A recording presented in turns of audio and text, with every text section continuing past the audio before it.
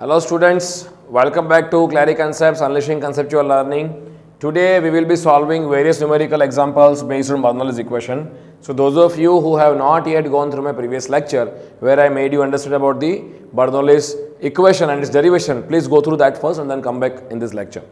And this today's lecture is very very important because most of the exams, whether it is competitive or university exams, they do have numericals based on Bernoulli's equation.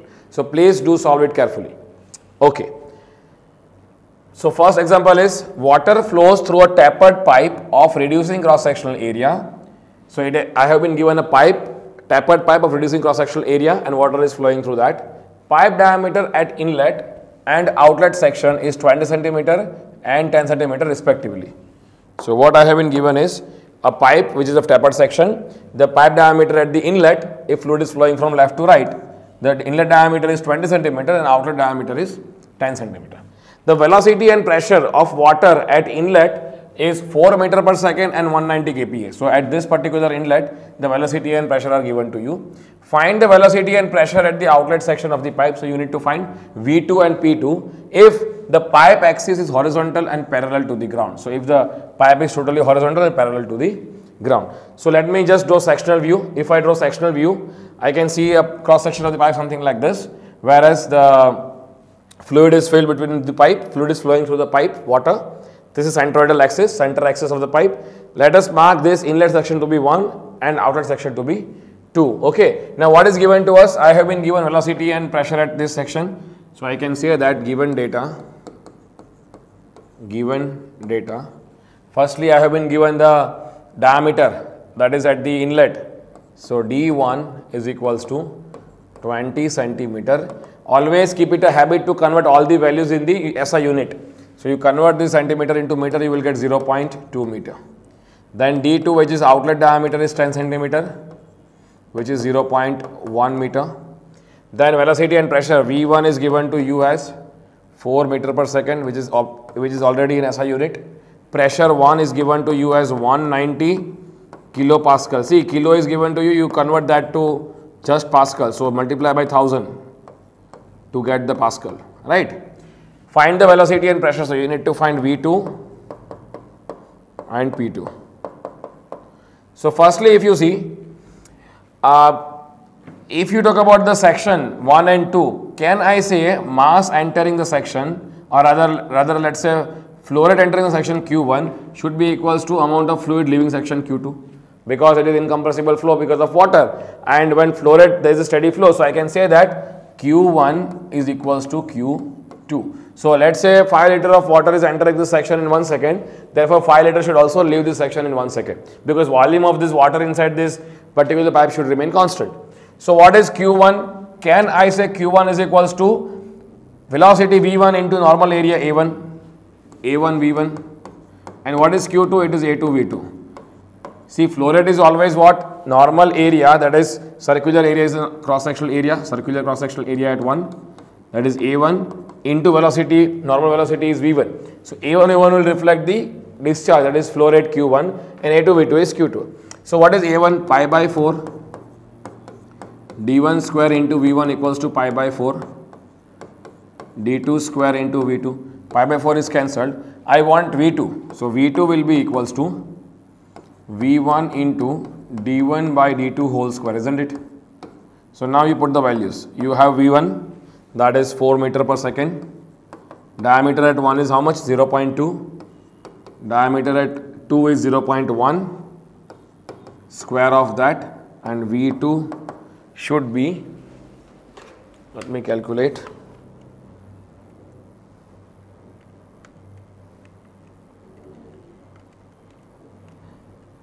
that is 16 meters per second.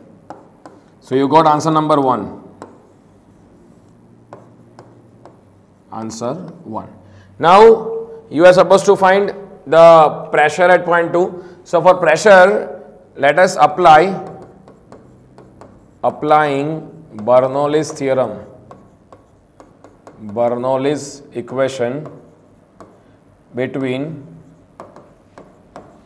section 1 and 2. What will I get? See, I said that P by rho g plus V square by 2g plus Z equals to constant. So, if I apply Bernoulli here and here, I can say that P1 by rho g plus V1 square by 2g plus Z1 should be equals to P2 by rho g plus V2 square by 2g plus Z2. Now if you look at Z1 and Z2, let's say for example, this is the datum line somewhere over here. This is datum line. From where Z and Z1 and Z2 are measured, right? So Z1 is what distance of this point, center section, Z1 and Z2 is what? This distance. Now since the pipe is horizontal, Z1 should be equal to Z2 by default because it is horizontal and parallel to the ground. So this will get cancelled from both the sides. Now in the entire equation if you see, you can uh, take g common then out. So from all the equation if you multiply with g everywhere on both these sides, you see you multiply with g, g will also get cancelled from everywhere. So you left with is p by rho plus v1 square by 2 equals to p2 by rho plus v2 square by 2. Simply put the values so you can take p2 by rho is you want p2 right it is p1 divided by rho plus you take v2 on the left hand side v1 square minus v2 square divided by 2 further if you do resolution this is p2 will be equals to multiply rho. So p1 you multiply rho over here rho rho will get cancelled plus rho by 2 into v1 square minus v2 square. Now put the values. What is p1 p1 was 190 kPa so it is 190 into 1000 because it is kilo right? Plus what is rho density? 1000 divided by 2 density of water right? What is v1 square? V1 was uh, 4 meter per second. So it is 4 square minus 16 square. V2 is 16 right? If you remember. We have found v2 as 16 minus 16 square. So i'll just do the calculation. 4 square minus 16 square into 500 okay. Then plus 190000 that is p2 will be equals to 70000 pascal. That is p2 is 70 kPa. So your final pressure at the outlet is 70 kPa and velocity at the outlet is 16 meters per second. Let me check the answer. Yes.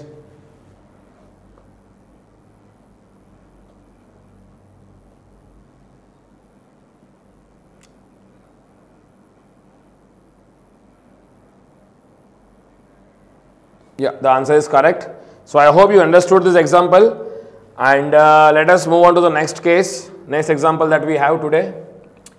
Water is flowing through a pipe having diameters 20 centimeter and 10 centimeter at section 1 and 2 respectively as shown in figure. So I have been given a figure, section 1 is over here, section 2 is over here, right. So diameter at 1 is 20 centimeter, so D1 is 20 centimeter is 0.2 meter, directly I am writing the values and D2 which is this 10 centimeter of diameter which is 0.1 meter. Okay. The rate of flow through the pipe is 35 liters per second. So Q is given to me as 35 liters per second. Again, liters per second is not the SI unit. So what I will do? I will divide it by 1000 to get the meter cube. So this will be 0.035 meter cube per second. So flow rate is 0.035 meter cube per second. Section 1 is 6 meter above the datum line and section 2 is 4 meter above datum line. That means what? Datum line is given to you, section 1 is 6 meter above and section 2 is 4 meter above. So you have been given Z1 is 6 meter and Z2 is 4 meter simply. If the pressure at section 1 is 39.24 Newton per centimeter square, P1 is 39.24 Newton per centimeter square. Find the intensity of pressure at section number 2 simply. Now firstly convert this Newton per centimeter square into meter square, right? So how do you do that? Simply look at uh, uh, view, I mean give pay your attention over here. P1 is 39.24 Newton per centimeter square. You want this to be in meter square, right? Newton per meter square for the SI unit.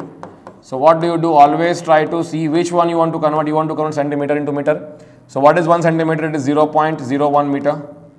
So you put 0.01 meter or else you know it is 10 to the power minus 2. It is 1 centimeter is 10 raised to minus 2 meter and then square of that. 10 raised to minus 2 square will be minus 4. Minus 4 will go up, will become plus 4. So 39.24 into 10 raised to plus 4 Newton per and meter square will be as it is meter square. So this is the value of pressure P1 in Newton per meter square. Okay, now what do we need to find? We need to find pressure intensity at section 2. P2 is not known to us. We need to find that. So first let us look at Bernoulli's equation. If I apply Bernoulli's theorem between section 1 and 2, so I can say P by rho g plus V1 square by 2g plus Z1 should be equals to P2 by rho g plus V2 square by 2g plus Z2. I want P2, so I can take P2 on one side and all the other terms on the other side. I will get P2 by rho g should be equals to P1 by rho g plus V1 square minus V2 square divided by 2g because 2g is same and plus Z1 minus Z2. Now if you want P2 you take rho g on the right hand side you multiply that with all the terms you will get P1 plus because P1 by rho g into rho g will get cancelled plus V1 square minus V2 square divided by 2g into rho g plus rho g z1 minus z2. So, g will also get cancelled. Now, let me know all the values are available or not. P1, yes, it is known to me. V1 and V2 are not available with me. Otherwise, all the values are available with me. So, how do you get V1 and V2? So, let me first calculate V1 and V2. How do you calculate V1, V2? See, flow rate is given to you 0.035 meter cube per second. Can I say Q is equals to A1 V1? So V1 is equals to Q divided by A1. So therefore V1 is equals to what? Q is 0.035. What is area 1? Pi by 4 D1 square. What is D1? D1 is 0.2. Let me calculate 0.035 to 4 divided by pi divided by 0.2 square. That is coming out to be 1.114 meter per second. So V1 is 1.114 meter per second. Now what is V2? For V2 I can say Q is equals to A2 V2. So therefore V2 is equals to Q divided by area 2.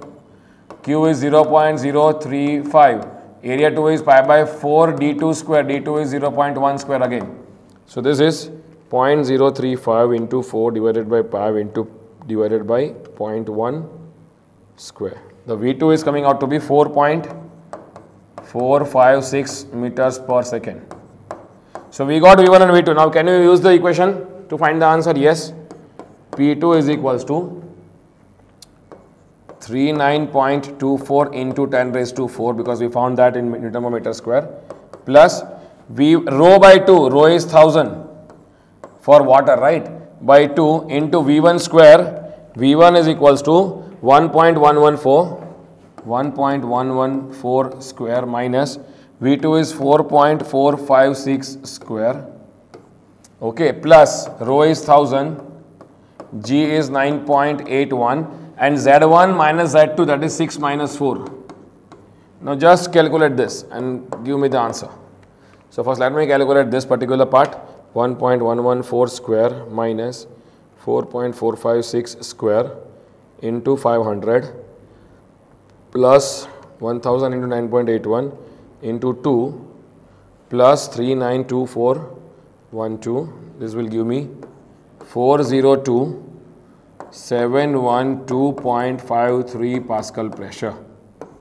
This is answer. Let me check. 40.27 into the power 4 perfect. So i hope you got the answer of pressure at section number intensity of pressure at the section number 2 which is this. And if you want to convert this into Newton per centimeter square, you have to divide it by 10 to the power 4. When you divide by 10 to the power 4, you will get P2 equals to 40.27 Newton per centimeter square.